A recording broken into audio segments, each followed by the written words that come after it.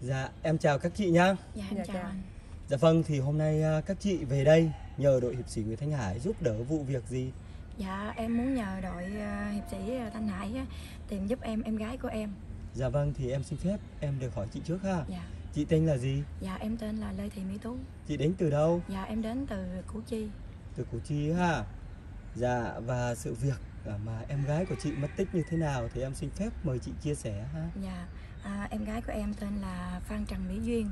Dạ. À, sinh ngày Chị gái nói lớn lên giúp em à, ha. sinh ngày 11 tháng 8 năm 2008. Dạ. À, em ờ, em đi học thêm á từ 5 giờ đi ra khỏi nhà từ 5 giờ 15 á đến Dạ. nay vẫn chưa thấy về.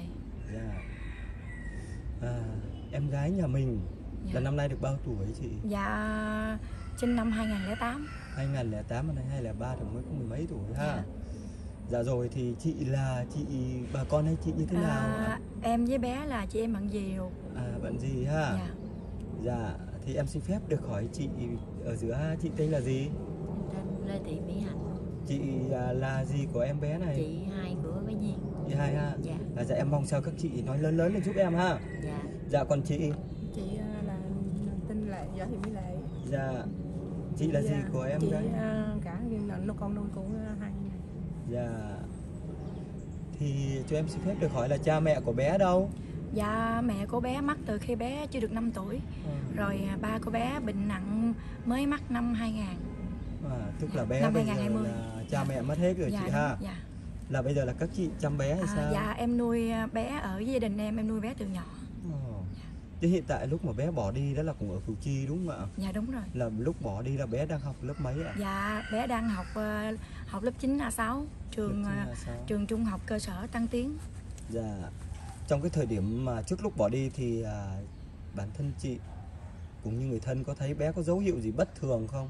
Dạ bé nó trước đây nó ngoan lắm, nó học rất là giỏi. Dạ. rồi à, từ lúc mà thi học kỳ hai học thi học kỳ 1 xong á thì Dạ. bé em thấy có bé là à, cái học nó nó hay sa sút em có Dạ. hay la nó tại Dạ. vì mình muốn cố gắng cho nó học giỏi Dạ. rồi à, nó than với lại mấy đứa bạn á Dạ. là nó à, áp lực gia đình tại vì à, giống như là mình cho nó đi học cho nó này kia đó rồi Dạ. à, à, cái tâm sinh lý của bé nó nó vừa nửa là người lớn nửa là con nít á Dạ. rồi nó muốn ờ, nó lên mạng này kia rồi cái nó nó muốn có bạn trai rồi ờ, mình cũng ờ, không không có cho nó là ờ, tiếp xúc với mấy cái bạn ở ngoài nhiều á Dạ. rồi bé cảm thấy là bị áp lực Dạ. dạ Thì em hỏi chuyện này xíu riêng tư ha. dạ Thì trong thời gian mà bé ở nhà thì bản thân các chị có la giày gì bé không? Dạ. La mà la những ngoài việc học hành ra.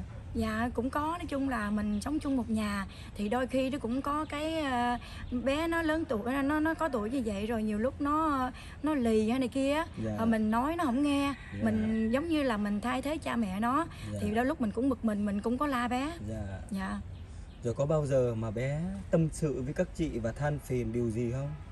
dạ dạ không Không ha. dạ Tức là chị quan sát được rằng là bé có sử dụng điện thoại không ha? dạ có Thì ờ, các chị quan sát được bé có sử dụng điện thoại nhiều không? Nhiều giờ trong một ngày không? Khi À. mà đi học về nhà. dạ cũng có nhưng mà tới giờ học á là em bắt buộc em phải đưa điện thoại lại cho em em giữ điện thoại của bé khi nào mà bé có cái cái bài vở của thầy á cô Dạ. gửi về á thì em mới cho bé mở điện thoại ra thì bé Dạ. có nói với mấy bạn là à, bé à, bị chị ba không cho xài điện thoại cái đó là đúng Dạ. dạ Thì ờ, trong các mối quan hệ của bé, dạ quan hệ bạn bè thì gia đình nhà mình có nắm bắt được không?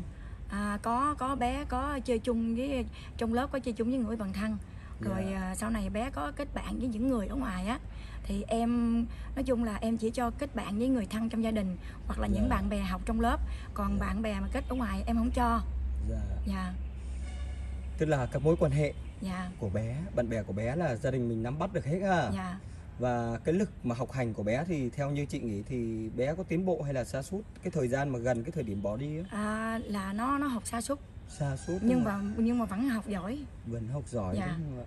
tại vì bé học giỏi từ lớp 1 cho đến lớp 8 luôn Dạ. dạ Tức là khi mà bé mất cha mẹ từ lúc 5 tuổi như chị chia sẻ đúng không dạ ạ? mất mẹ Thì- lúc 5 tuổi Mất mẹ lúc 5 tuổi đúng Dạ. không ạ? Thì nói chung thì à, số phận của bé cũng rất là buồn và rất là đáng thương Dạ, đúng đúng không ạ? Và cũng may mắn là được à, các chị gọi Dạ. là chăm lo và nuôi nấng đúng không ạ? Dạ. Thì à, bản thân bé đôi khi thì khi đi ra ngoài bé sẽ rất tủi thân. Dạ. Tại vì bé nhìn các bạn cùng trang lứa hoặc các em nhỏ hơn hoặc các anh chị lớn hơn được có cha có mẹ bên cạnh đúng không ạ? Và được đi chơi đâu đó có cha có mẹ nên đôi khi bé rất là buồn.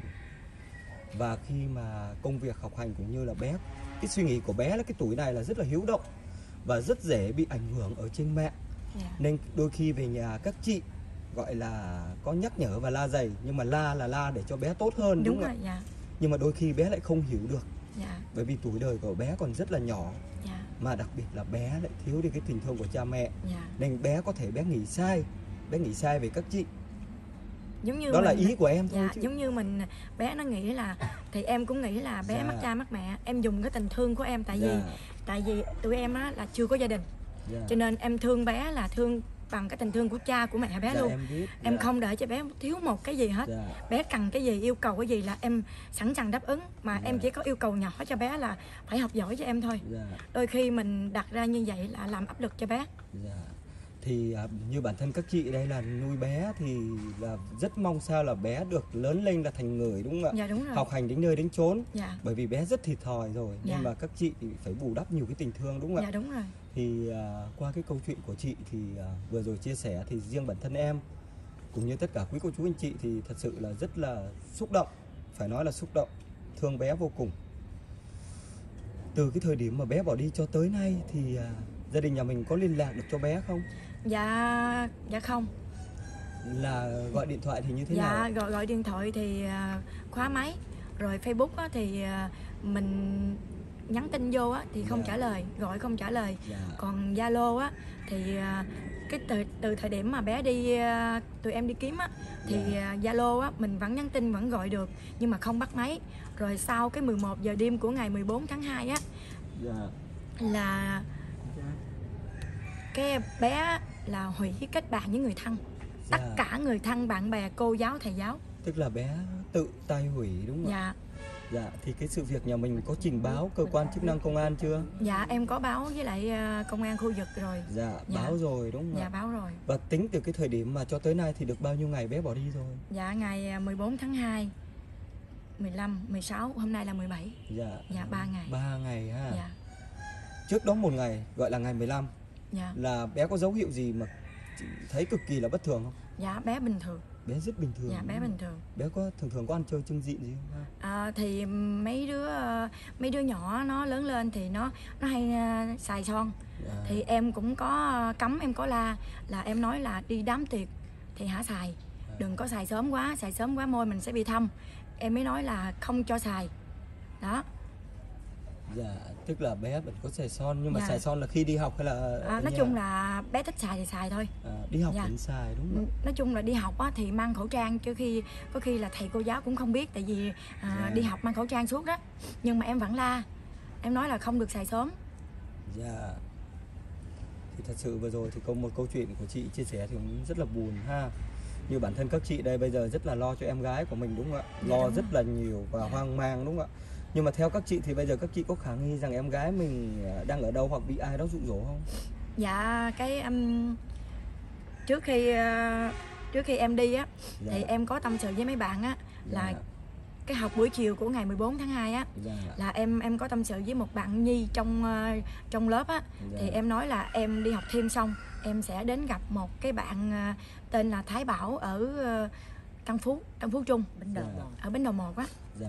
là gặp bạn đó thì ờ, em nghe như vậy á em mới ờ, đi xuống kiếm nhà của bạn Thái Bảo Dạ. thì bạn Thái Bảo nói là à, bé Duyên á có xuống dưới tìm bạn Thái Bảo Dạ. rủ bạn Thái Bảo đi qua Bình Dương À. và sau đó thì em biết được cái thông tin là à, bạn bạn Duyên á có Dạ. nhờ một người bạn học gần lớp là đặt cho cái ráp á để đi Dạ. Bình Dương thì Dạ. cái à, cái lịch trình đi á là từ à, từ trường học cấp 2 Tăng Tiến à, xuống tới à, Bến Đò Bến Đò 1 xong rồi em đi Bình Dương là em đi qua tới à, rạp à, rạp chiếu phim à, CGV ở Bình Dương.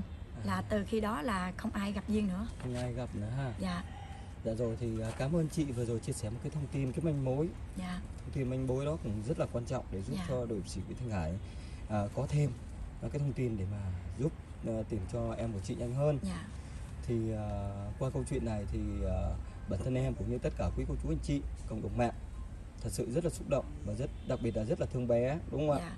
Tại vì bé tuổi nhỏ mà không may số phận thì mất đi cả cha lẫn mẹ. Dạ. Và cũng may mắn sao là bé được các chị yêu thương và cũng ờ, nuôi nấng để cho mong muốn cho bé học hành thành người ha.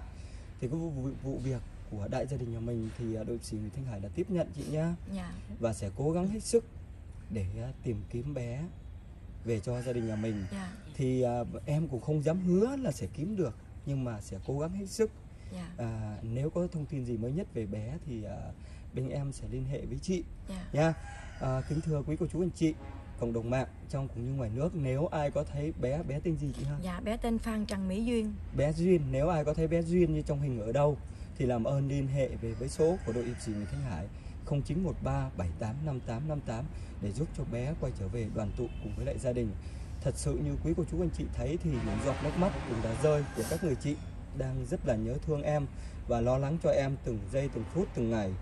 Bởi vì à, bởi vì sao? Bởi vì em tuổi đời còn quá nhỏ mà bên ngoài xã hội thì rất là nhiều cám cạm bẫy và rất là nhiều cám dỗ.